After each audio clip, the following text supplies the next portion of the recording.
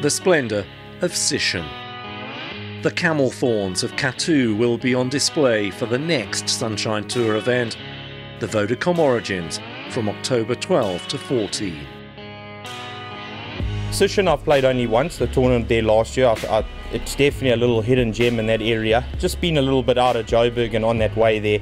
You know, I don't think it gets the credit it deserves really. I think the golf course is absolutely fantastic. Uh, I heard always good reviews from when I played during that week from the pros. And uh, yeah, it's always a nice vibe. You know, Vodacom always puts on a good stage, and uh, you know, I, I, enjoy the couple of days pro-ams before then and get to know the guys. So it's uh, it's a great venue, and, and looking forward to going back.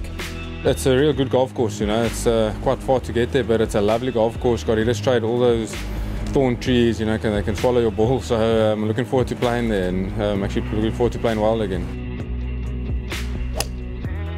10 under par was the winning score over three rounds last season, with the closing round of 66 from Jacques Blaauw, one of the lowest scores of the week. Not that that won him the title. He still needed to overcome local favourite Theunis Spangenberg in a playoff for a first win in almost three years. Jacques will defend against a classy field in the fifth event of the Origins series.